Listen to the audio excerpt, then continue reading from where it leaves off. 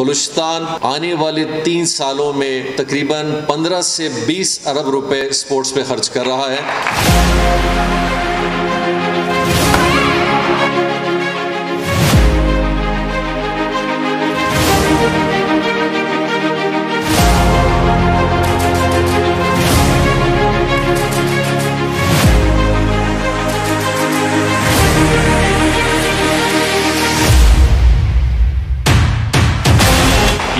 बलूचिस्तान में सिर्फ़ रिकॉर्ड नहीं होगा, बल्कि मेरे ख्याल से पूरे पाकिस्तान में किसी भी सूबे ने इतना नहीं किया होगा। और इसकी सबसे बड़ी वजह मकबूलियत नहीं है, ज़रूरत है।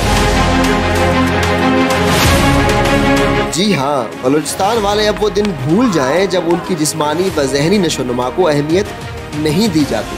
महकमा खेल व अमूर नौजवान बलूचिस्तान के जैर सरपरस्ती पूरे बलूचिस्तान में उनहत्तर स्कीम्स पे काम जारी है, जो कि वजी अला बलूचिस्तान की खसूसी दिलचस्पी की वजह से अगले चंद ही महीनों में आवाम के लिए खोल दिए जाएँगे। जिसमें मुख्तलिफ़ अजला में indoor games hall cricket ground और फुटबॉल ग्राउंड बनाए गए हैं। हालिया साल की बजट, यानी पी एच डी पी दो हज़ार बीस इक्कीस में खेल के हवाले से मजीद सत्ताईस स्कीम्स भी रखे गए हैं, जिनमें हर इलाके में ज़रूरत, यानी जहाँ जिस खेल के खिलाड़ी ज़्यादा, वहाँ उसी खेल के मैदान।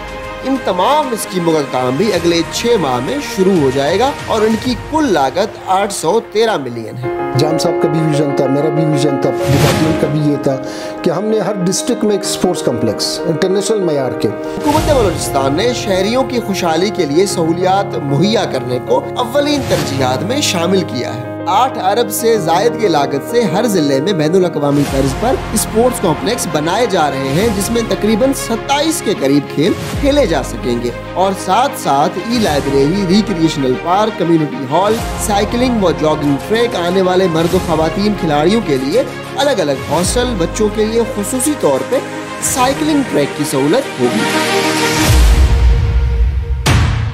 सिर्फ़ ये नहीं, इस एक ही चार दीवारी में कमर्शियल प्लाजा के फवायद भी शहरियों को हासिल होंगे। यानी खेल के साथ साथ कारोबार और रोज़गार के मौके भी बढ़ेंगे। इन स्पोर्ट्स कॉम्प्लेक्स के अलावा मुख्तलिफ़ तहसीलों में इकसठ फुटसॉल ग्राउंड भी बनाए जाएँगे, जो की इसी मुआशी साल में मुकम्मल किए जाएँगे। तो अब बलूचिस्तान के शहरी तैयार रहे 14 अगस्त और 6 सितंबर की कामयाब तकरीबा के बाद इन्हीं मैदानों में इसी साल सात नेशनल इवेंट्स मुनद किए जाएँगे। इसमें गवादर और झलबक्सी jeep rally, national games, all Pakistan hockey और फुटबॉल गोल्ड कप सरे और इसके अलावा 11 सूबाई सतह के इवेंट्स भी मुनद किए जाए इसमें तारीख में पहली मरतबा chief minister talent hunt program women games Balochistan Quetta premier league और विमेन फुटसाल टूर्नामेंट सरे आप ये जानते हैं कि ये तमाम सहूलियात आप ही के टैक्स के पैसे से दिए जा रहे हैं।